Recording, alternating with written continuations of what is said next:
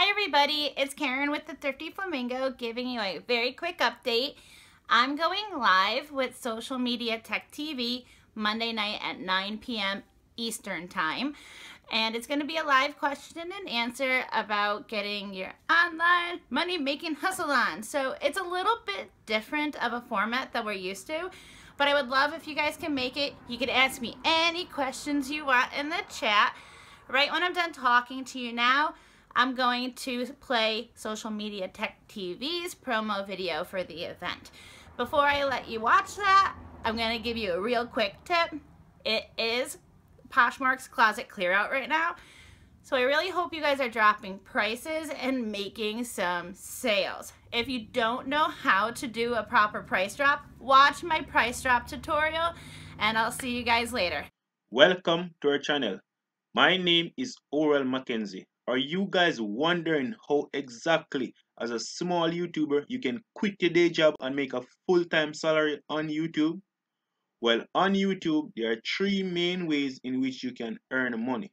There are, are of course, many different ways, but there are three main ways. Now, the first way are the, are the way that most small YouTubers are exposed to is what we call the AdSense model.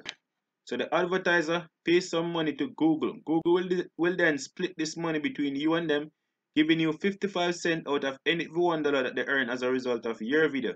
The advertisement will be then shown on YouTube. So you ever watch YouTube and see this advertisement coming before your video? That's exactly what we're talking about, AdSense model.